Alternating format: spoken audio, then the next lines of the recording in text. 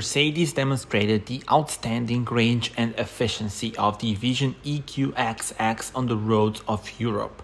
Traveling from Sindelfingen across the Swiss Alps and northern Italy to its destination of Cassis on the Côte d'Azur, it effortlessly covered more than 1000 kilometers in everyday traffic on a single battery charge.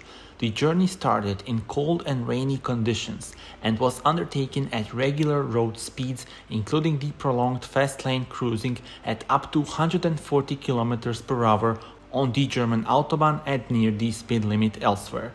The battery's state of charge on arrival was 15%, accounting to a remaining range of around 140 kilometers, and the average consumption was a record-breaking low of 8.7 kilowatt hours per 100 kilometers. So that's really impressive. Tell me in the comments what are your thoughts on the new Vision EQXX.